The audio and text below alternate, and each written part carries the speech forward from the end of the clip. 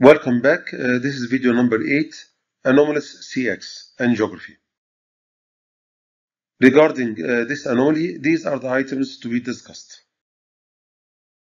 Regarding diagnosis uh, by aortography or ventriculography, uh, any retroaortic course of CX or left main is suspected in RAO view in aortogram or ventriculogram dot sign as the proximal anomalous CX passes behind the aortic root. In angiography, uh, we suspect the absence of CX in left injections if one of the following is present. A long left main uh, in RAO or PA caudal. Is it a long left main or absent CX? In deep RAO cranial with more RAO or caudal, it will be longer since the proximal LAD is least foreshortened. It is also suspected when there is no branching at the distal left main, main deflection angle in the spider view, uh, in which there is maximum angulation between LAD and CX. It is uh, very useful if there is an absent early diagonal artery which has the same course in this view. No artery in the posterior AV groove.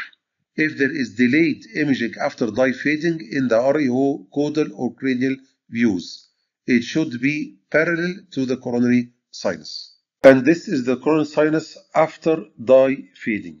If there is mitral annular calcification, uh, the course of the uh, CX should be parallel to it. Both are in the AV groove. In RAO cranial view, uh, only CX should be in this area parallel to the mitral annulus calcification. Absent uh, CX from the left system should be highly suspected if there is an hypoperfused area in the posterolateral wall free of blood supply in the RAO caudal or cranial views. Since uh, the instance of absent left main or short left main are more common than anomalous CX, uh, they should be excluded in semi and non-selective injections. A semi-selective injection will exclude or confirm a short left main. Absent left main with separate origin of LAD and CX will appear with a non-selective injection. Typically, the CX origin is posterior and inferior to the LAD origin. Several injections may be needed. To confirm the absence of CX from the left main, we need a lateral and deep RAO cranial view. In the lateral view, the CX should be posterior since it is in the posterior AV groove, at least the proximal segment in a non-dominant CX. CX. So the lateral view is the most important view for diagnosis. No other artery is in this area. In the deep RAO cranial, the catheter is between the CX and the LAD. A very deep RAO with more RAO may be needed. In both views, at least look at the proximal segment of CX in cases of a small non-dominant CX. If the diagnosis is still uncertain, as in cases of small rudimentary CX, and after exclusion of absent or uh, short left main, a semi or non-selective RCA injections is done from the start, especially if there is need for clinical interpretation or absent PDA in the left injections. To confirm anomalous CX origin from the RCA or right coronary sinus, we need a semi and non-selective RCA injections. RCA injection with normal aortic reflux of dye and normal pressure waves with delineation of the orifice is usually useful only if the origin of the CX is paraostial from the RCA, not other types. A semi-selective injection is needed. The difference between both injections is just 1 mm catheter withdrawal with some reversal of rotation. While a non-selective injection is uh, useful if the origin is common origin or separate origin.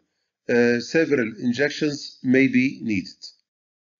How to describe anomalous CX from RCA or right coronary sinus?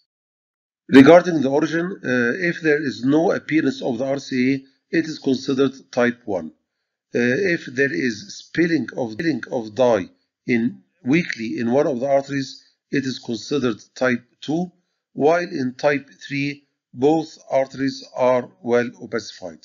Uh, several views may be needed. Regarding the course, uh, anomalous CX is a retroaortic course, passing behind the right then the posterior uh, aortic cusp. For confirmation, a powerful semi-selective injection in lateral view is needed to see the course in contact with the posterior cusp. Also, the RAO caudal view is useful. Typically speaking, uh, the anomalous segment never gives origin to atrial or ventricular branches. With this uh, retroaortic course green line, uh, it will pass between the aortic annulus, mainly the posterior sinus, and the mitral and tricuspid annulus before reaching the, the posterior AV groove. Regarding uh, evaluation, lesion, spasm, acute angulation is challenging if with common or separate origin. The ostium first 3 to 5 mm is in close contact with the aortic wall. A deep PA or RA caudal makes a space from the RCA origin. LAO cranial may help. Uh, it delineates the CX origin from the aortic cusp and wall, yellow arrow. LAO caudal view also delineates the ostium from the cusp with no overlap. Area of distribution. The LAO view needed for RCA injection may underestimate the CX length and branches. RAO PA caudal views for CX evaluation, OMs, and dominance. CX branches starts after the retro after the course. They are not distal branches as first view may imply. The retroaortic course should be evaluated for any lesions. In this case, there is systolic compression in the retroaortic segment. IVUS may be needed to confirm the cause of obstruction in the retroaortic segment. Is it a lesion, compression, or spasm? And here are a few case presentations. A 73 years old male patient presented with acute coronary syndrome. Angiography showed a small occluded common origin anomalous CX and PCI was done. Don't underestimate the size and area of perfusion supplied by a small caliper occluded anomalous CX. And in these uh, two cases, diagnosis of anomalous CX was done nine years, years or one and a half year after CABG was done due to acute coronary syndrome presentation. Uh, an early diag was diagnosed as, an, as uh, CX. This is a case of inferior STEMI. Ramus artery was thought as left circumflex and RCA was normal with a selective injection, so the diagnosis was MINOCA. Due to ongoing chest pain, CTA was done to exclude other causes. Uh, anomalous left circumflex artery was seen with a tight distal lesion, yet the patient lost his chance of reperfusion. And uh, this is a case of inferior STEMI with previous left main LAD PCI three years ago. Only with a non-selective RCA injection, an anomalous occluded CX appeared and PCI was done. The previous PCI was an LAD, not left main.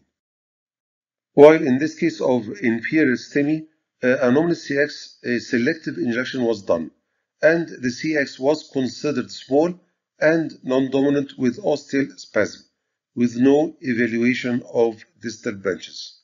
Uh, chest pain was relieved with no Q wave development. Mostly it was due to ostial CX spasm. In this case of total uh, LAD occlusion, is this a long left main or CX occlusion after OM origin or Ramus? A semi-selective injection uh, showed normal RCA uh, with retrograde film to the LAD. What is next? LAD revascularization or search for CX.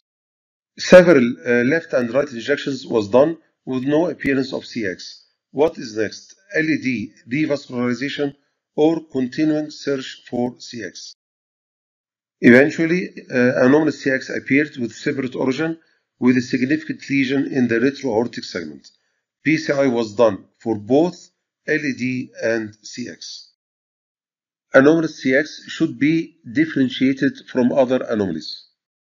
An occluded ostial or very proximal CX should be differentiated from an absent CX from the left system, uh, with an absent CX from the right. Uh, CT, IVUS, and clinical interpretation are important. It is highly suspected when there is an absent superdominant posterolateral artery.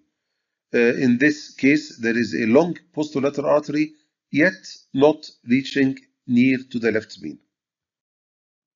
An absent or rudimentary CX is a very rare anomaly. In this case, is there CX artery in the posterior AV groove?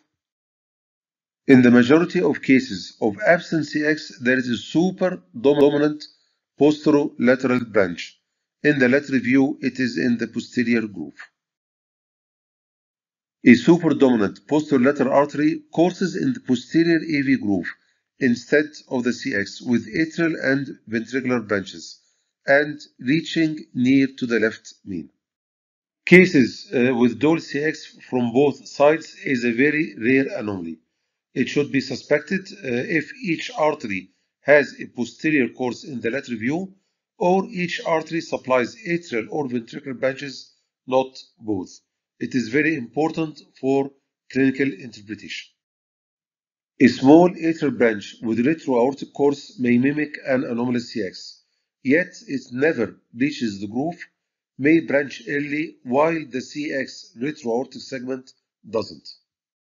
Technical points regarding engagement is very important. Any of these, any of these catheters uh, may be used in engagement. Notice the distance between the primary and the secondary curve and also the distance between the tip and the primary curve in Amplatz left catheter if compared with other catheters. The origin of the anomalous CX with separate origin is always posterior to the RCA origin and at a lower level. Regarding Amplatz left catheter, engagement is always challenging. It may be easily selectively engaged uh, deep in the CX due to long neck, causing trauma to the ostium, or non-selective injection with non-optimum RCA and CX opacification. With Amplatz left catheter, the rotation is less eccentric. The tip reaches the wall of the aorta late. So with rotation, it reaches the anomalous CX easily if, if separate origin, with a possible mild traction to be coaxial with the inferior oriented CX. While with early branching CX, it reaches the RCA easily, yet due to the long tip, it may bypass the CX origin. With a possible mild traction to shorten the tip allowing CX engagement and to be coaxial with the inferior oriented CX. A short tip Amplatz left 1 catheter is an option. With Judkin right catheter, the rotation is more eccentric, so the tip reaches the wall of the aorta early, mostly before reaching the origin of the CX selectively, if with separate origin, and with no coaxiality. While with early branching CX, it reaches the RCA easily. As said before in a previous video, the Judkin right tip is usually horizontal, and with complete rotation, the tip will be directed inferiorly. Yet, with this rotation, it will be already deep in the RCA, missing the CX origin. So, in cases of early branch anomalous CX, Judkin right is the preferred choice with no complete rotation. The other choice is Judkin right with short tip.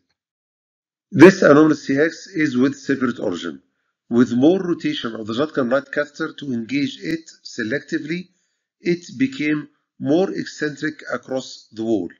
Most probably, this is the cause of ostial spiral dissection. Only with Amplatz left catheter with wiring of both the RCA and CX, PCI was done. With 3DRC modified William catheter, as explained before, it is already posteriorly oriented. it navigates this area with minimal rotation needed with selective injection, injection of separate origin CX. Yet, as said before, the tip is directed anterior to the RCA, not posteriorly to the CX.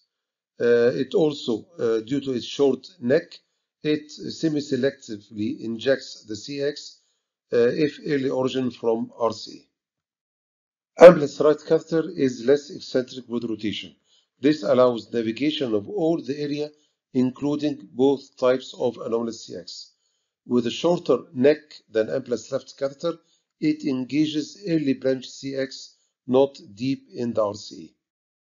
If the CX origin is late from the RCA ostium, it is managed as any branch from the RCA with the usual Judkin right catheter. With multipurpose catheter, it is difficult to maintain posterior orientation of the catheter near to the separate origin CX after rotation. It has a long neck between the yellow arrows, allowing a deep engagement of, with poor control, with high possibility of CX trauma, which is always with posterior and inferior deflection or tendency. Dual injections is useful. Uh, anomalous CX with separate origin is confirmed by dual injection and PCI was done, but only after six years of instability due to misinterpretation. The CX was considered small and rudimentary. And this is the end of the video. Uh, thank you for your attention and waiting for your uh, feedback.